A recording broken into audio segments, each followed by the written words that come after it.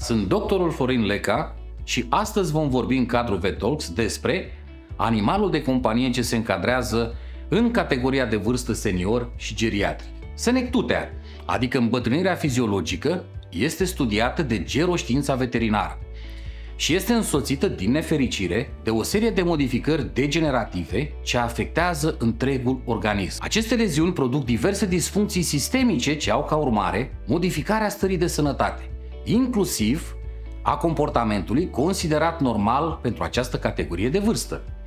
Odată cu înaintarea în vârstă, modificările comportamentale se datorează uneori unui sindrom cerebral degenerativ caracterizat prin disfuncții cognitive multiple de genul tulburări de memorie, învățare, percepție și conștientizare. Acesta fiind foarte frecvent întâlnit la câini.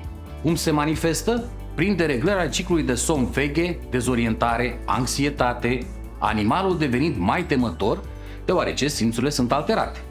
Inactivitatea și reducerea interacțiunilor sociale sunt o altă manifestare frecventă a îmbătrânirii fiziologice.